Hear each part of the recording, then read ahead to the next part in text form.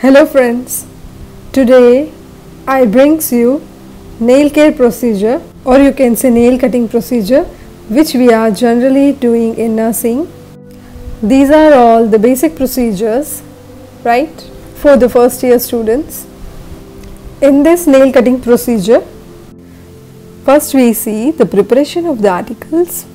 In this procedure we need one kidney tray, one paper bag, to collect the dry waste, one nail cutter to cut the nails, one nail brush, one nail filer, one big bowl with lukewarm water to make the hard nails soft, one bowl with gauze piece. For each finger we will take separate gauze piece.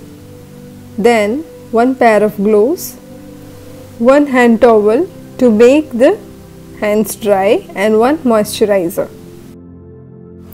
First of all, explain the procedure to the patient and also maintain privacy. We will give comfortable position to our patient. Then arrange cardiac table in front of our patient if available.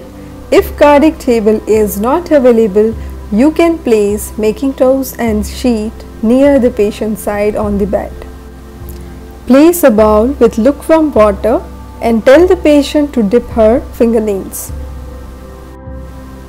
After this, use nail brush to clean the soil nails and again dip her nails to clean.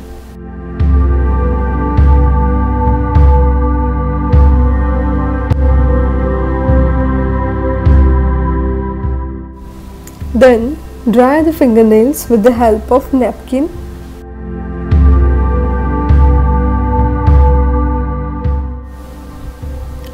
Then place kidney tray and take nail cutter and one gauze piece near the fingernail. Hold gauze piece like this covering the side areas of nails and cut nails in three steps. First is outer side, then middle side, then inner side.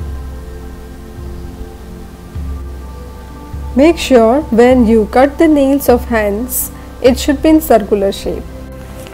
Discard the soil gauze piece in a kidney tray. Use another clean gauze piece for another nail.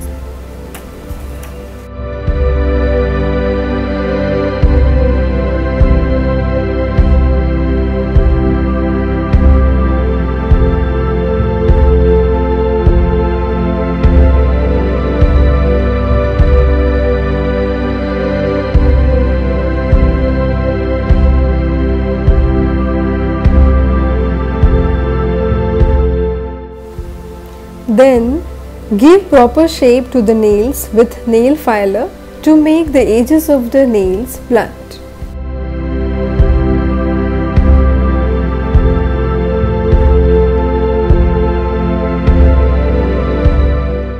Now take moisturizer and apply over the hands.